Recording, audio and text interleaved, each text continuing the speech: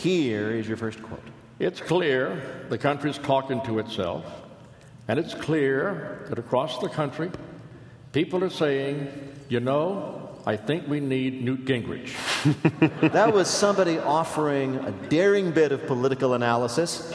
Who believes that the country really needs Newt Gingrich? I think there's only one person, and that would be Newt Gingrich. It would be. I think. I think. I think you you should get you should get two points because you're right. There's one person who thinks that, and it is Newt Gingrich. Instead of Mitt Romney, a guy who really, really, really wants to be president, the GOP at last is turning to a guy who thinks he's too good to be president. Gingrich once described himself as, quote, an advocate of civilization, definer of civilization, teacher of the rules of civilization, and leader, possibly, of the civilizing forces, unquote. He's not a politician. He's Gandhi with a weight problem. I was, I was about to say he's done. He, that's Charlton Heston's whole career. Right there, running through the movie. Then. Well, you know what's what's bad is that now it's down to two people, right? Pretty much. So you have to say Mitt or Newt because you can't say Newt or Mitt. Newt or Mitt.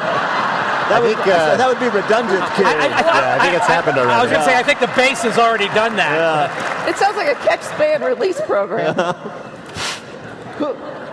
Newt, Newt Gingrich has such an incredibly inflated idea of who he is. Who could be his running mate? We're guessing he'll decide the only person who could step into his shoes if he should fail would be himself. He'll be his own vice president, and he will announce that if he were to die in office, he shall rise again after three days. Or maybe he will take a rib from his own body and shape a companion for Newt. Someone who, will, someone who will always gaze upon him worshipfully, but who will not demand expensive jewelry in return. the only flaw in that vice presidential plan, Peter, yeah. is that about five years afterwards, he's going to find a better looking rib on the other side. Straight up. Can we spare a moment of pity, though, for poor Mitt Romney?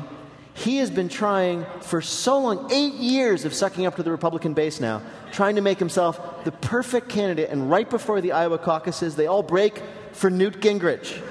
Romney must be like, I stayed faithful to my wife for 42 years for this. He's like, to hell with it. And he immediately started chugging Jack Daniels and moved his campaign headquarters to a brothel in Tijuana.